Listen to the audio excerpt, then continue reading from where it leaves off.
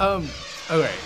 This is, you know, to be in a film of like Nightmare on I'm not saying, I don't want you to like reveal any spoilers to what happened to your character and stuff, but if you were to bite the bullet on a film like this, how awesome would you want to die in a film like this? Just wondering, if, if, if, if you had the choice, would you go all out bloody or would you kind of go like, mm, no, maybe just a stab or oh, I don't come know? on, all out You gotta bloody. go- you Oh, gotta gotta go all bloody.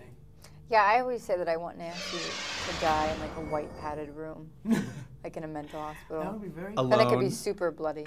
Really? That's very smart. And blood all over white walls. That's what I'm It'd pushing pretty for. visually. uh, I think. Yeah, I think uh, it would be beautiful. Katie Cassidy's character wins best death, though.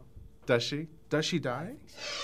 Well, it's pretty much been uh, revealed by now. in the trailer. yeah. So we're allowed to say that one. All right then. we hope. to to work on a film, which I'm assuming is really kind of um, you work a lot in the sense that it's very physical, and and, and so after day 10 of running around and you know being in dirt and all that uh, do you have visions of your own where you're just kind of like i don't know like does it get a little cookie for you guys to kind of look at each other and be like oh god this is you know uh, It's nighttime more like- I'm covered in blood, and it's been 12 hours, and it just never dries, and I'm sticky and can't touch anything, and I'm uncomfortable. And, like, Yeah.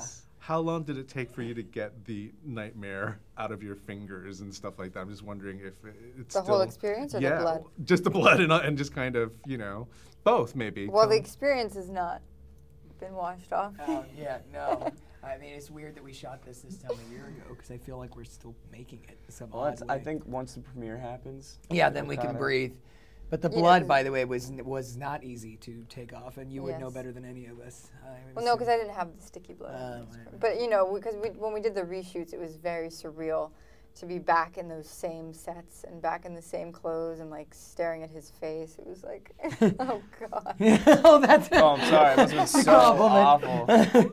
So Again, terrible. To work with Jackie, I'm just wondering what his process is like. Do you is there an uh, pre pre Freddy Jackie like before he puts on the face that you can shoot, shoot the poop with him or like can you kind of you know like can you I don't know like it, and when he gets in characters is it you're like oh right we're working with Jackie. Well, he's so That's great. nice that it Yeah. definitely was a switch when he would have to be. You know, there was definitely a different sort of energy on set when he was there because I think everyone was quite sympathetic towards him, and people wanted to be as efficient and fast as possible because we knew how uncomfortable he was, and um, so I, I think that definitely changed. But Jackie was sort of always just Jackie. What do you feel this version would bring to the table that maybe the other versions didn't?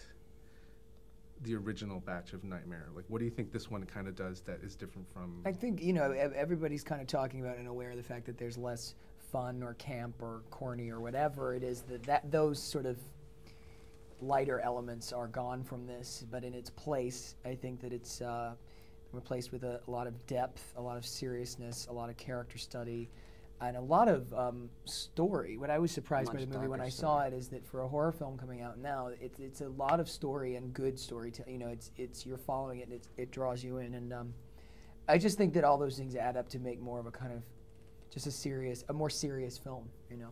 Do you feel that being a part of a, a potential franchise like this, do you find that people look at you differently? Like, oh, you're part of the Nightmare series now, and like, I know, like, I'm sure fanboys or fangirls, like, kind of, if they hear that you're part of it, do they kind of get more excited when they meet you, or like?